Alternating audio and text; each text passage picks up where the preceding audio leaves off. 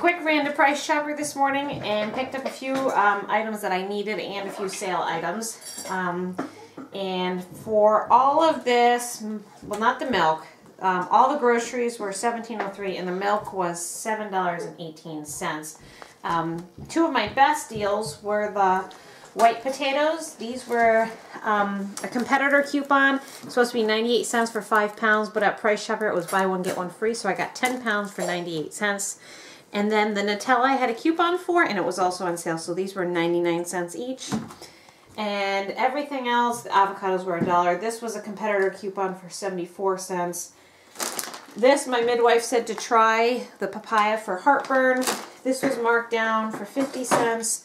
And then, well, I always have spinach and I needed mayonnaise. There were a lot of great sales at Price Chopper this week, but they were for junk food and prepared foods, and we have tried to get away from as much of the junk food and the prepared food as possible. And so that's why my food bill looks a little is a little bit higher lately.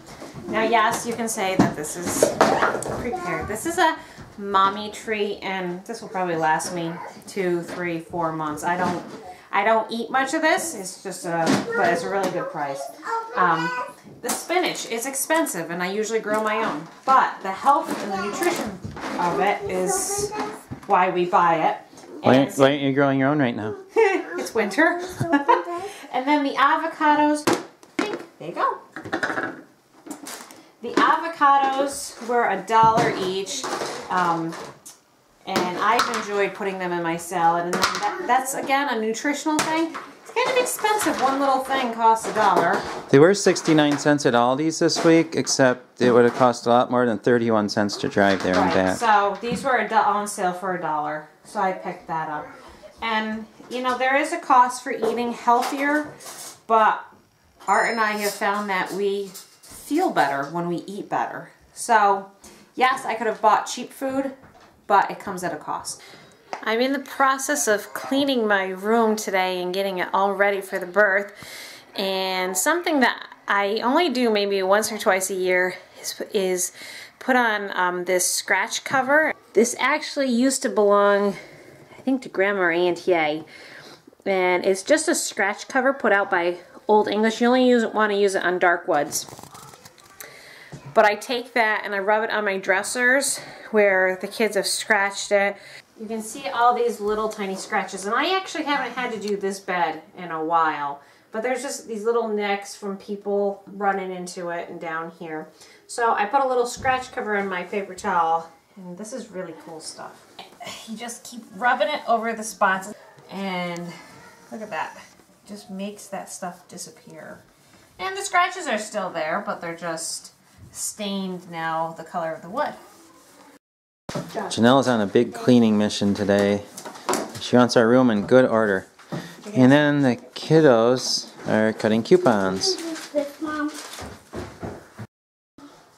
I finished shining all of the furniture up, and that is Art's dresser. And there, Daddy's working over there. He's cleaning out the pile. Working hard. And then I did my dresser. You see how nice and shiny it looks. And I also did the end of the bed, which I'm sitting on at the moment. Golf is over, and it's time to pick up our stuff and head home. We're picking up. A few more things to do. There's the pile of stuff that has to leave. The midwife is here, and the kids are all gathered around, going to listen to the baby.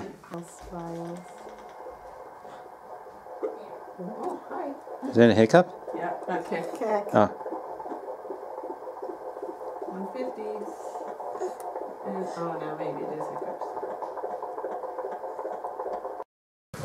Janelle is busy with her visit, so John did the cooking. He cooked the pizza, but he broiled it instead of cooking it, but that's okay. I'm sure it'll still taste good, right, John? Yeah, it'll be good. That's how you learn, right?